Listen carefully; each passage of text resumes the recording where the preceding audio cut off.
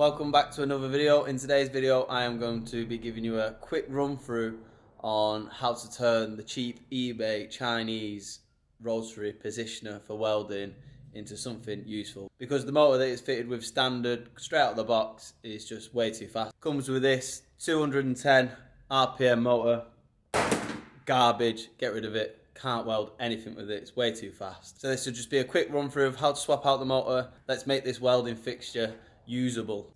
Mine, I've just made up a little stand and then I welded a little plate that I've just got clamped. I need to sort this out. I need to make it. This was just quick. Had a, a project that I was working on. I needed something to happen fast. And then with my 3D printer, I designed and printed this nice little locking system with the quick release clamps. So you can lock it in and out. You can move it up and down. It's got a bit of give so that way you can move it out the way. Just loosen that off. We can adjust the height, put the clamp back down. And then obviously you can rest your hand as you're welding, which is good. Let's just move that out of the way. And then with this, this is also height adjustable. I've just drilled and tapped some bit of bar. I need to swap these for wing nuts. I just haven't got any. Um, yeah, just undo that. And I can, if I want to stand up and weld and take this up higher, I can do. And I can be up here rather than down here because I do suffer with my arms going numb and a bit of a bad back sometimes. So get comfortable. And then uh, I explain later on in the video that this has been swapped out. This is just a chuck off a lathe and I have just fitted it. Uh, it's got little grooves in this that you can fit different sized bits to and they line up with this. I think I had to just widen them out a little bit with a die grinder to get them to fit, but it was minor. So that's that fitted. I think this was about £60. I will put links in the description for all of it for the rotary table and and this chuck. You can do everything with this now and it's perfect. It's a lot cheaper than some of the digital stuff that you can buy online. So if you're after some entry, just starting out, don't know if you want one or not. Honestly, get yourself one, it's a game changer. So this welding positioner comes with a plug for power and then it's got a quick little knock-off stop and a twist. So this is the 40 RPM at its max speed. You won't be welding anything that fast. And then turn it right down, you'll have nothing. Obviously it's pedal control because you can be next to your pedal on the floor. And then you've just got to work your way up a little bit until you hit the right voltage that it's after. And it'll go. Just work it little by little. Right. So that is about the slowest speed that we can get out of this motor. And I can tell you now that is too fast. Can maybe get a little bit more, you just got to tweak it ever so slightly, go down there we go, we've got a little bit less. But it's very infrequent. It'll you'll get a nice slow speed and then you'll be tapping this and it'll do nothing. And then you'll have to play with this and then still nothing. I've just turned the knob tiny little bit. There we go, we're on. But and then eventually it'll just stop for some reason because it's too the, the voltage is too low for this. So whatever it's trying to output there, it doesn't it doesn't agree with the motor that's inside. It's just not slow enough. So We'll take this apart and I'll video myself taking this apart so you can see what I've done. For if you wanted to swap out this, which I would advise, because why not? The one that it comes with actually is this thing here. Tiny. You're going to do nothing with that. Put this apart quickly, throw in that other motor and see where we're up to and I'll do a demonstration of me welding something up. I'll try and keep everything in frame as much as possible and my arms out the way so you can see what you need to see. So we'll just start by whipping off this chuck, this lathe chuck on the top here. So like I say, because this wasn't made for this, I don't know if you can see, we'll zoom in a little bit. As you can see now we've got it tilted over, I've had to notch out for the bolts on this. We can move it forward and back to align these bolts up so I can remove the chuck so I'll just get an Allen key through the slot that I've made here. Just going to take these screws out. There's only three. So I couldn't find a better place to remove this bolt to be honest. So this was the best place for this. This little slot to get these bolts in and out. You might find a better solution, but this is the one that I came up with.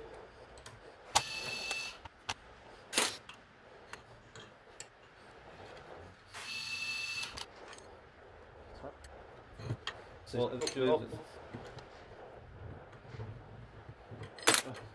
oh. oh. The top of this, there are four three bolts at the top, but I lost the screw and I've not managed to replace it. But I'm not that bothered. Once that's removed, that top plate will just pop off. Then once you've got that top plate removed, just inside are a couple of Allen keys. Whip them off. Take the, the motor out and then swap the gear onto the new one. And then repeat the process backwards. So I'll just whip that out, show you how to take the gear off. And then put the new motor in, we'll see, see what sort of speeds we're getting.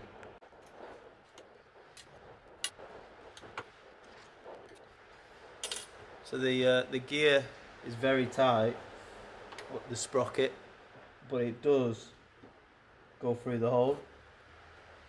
Just have to work it through. It is very tight, but it does work and it does come out. So that is the motor now removed. I'll just remove the cabling. So at the back of the machine here, I've got the cables stripped, ready for the new motor to be fitted. This is the original motor that came with it. Like I said, this is a 210 RPM. No good. This one was a 40 RPM, like I said. Still no good, still too fast. Just put the uh, the gear off there. We're going to be swapping it out for this 15 RPM motor there. And hopefully this does the trick.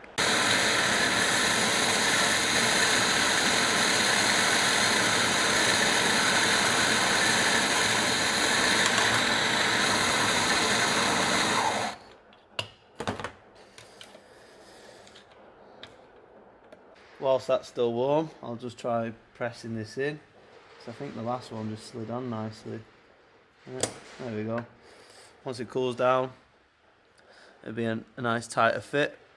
So with the power disconnected, you've got your positive, which is the blue terminal here, and the negative, which is the brown. It is labelled on here, I don't know if you can see. I'm hoping it'll focus. Hello. Yeah, there we go, you can see. We've got a positive and a negative. It's got a flat edge on that anyway. I'm just going to heat shrink these, slide my heat shrink over. I'm not going to solder these because I might have to take them off again if this isn't slow enough, but we'll see. I'm hoping it is. So that's the new motor all installed. We'll just check it's turning, which it is. That's it's, so it's fastest that now, so we can get right down there now. Oh, that's perfect. Yeah, it's going to be good that.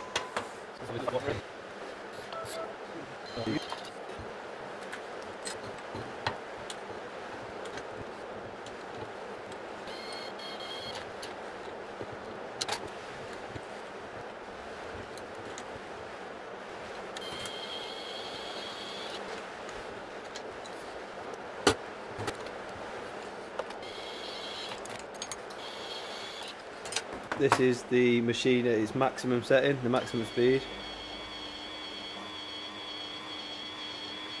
And now we can set, dial it right down. Let's get it to its one of its slowest.